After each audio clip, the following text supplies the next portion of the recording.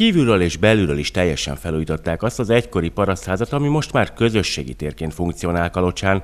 Rendezvénytermet, korszerű konyhát és mosdókat alakítottak ki.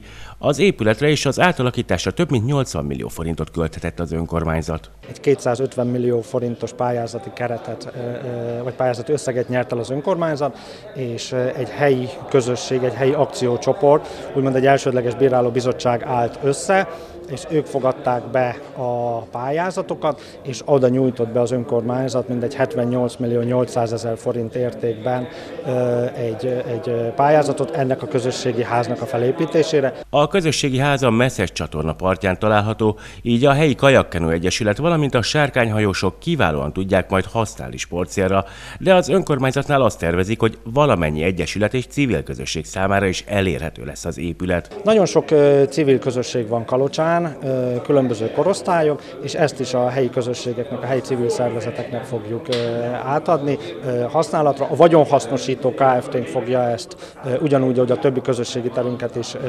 kezelni, és ő fogja ezeket lekoordinálni, úgyhogy ő hozzájuk lehet majd az igényeket benyújtani. A most elkészült vízparti közösségi házat a tervek szerint legkésőbb nyár végéig vehetik használatba a kalocsai civilek és egyesületek.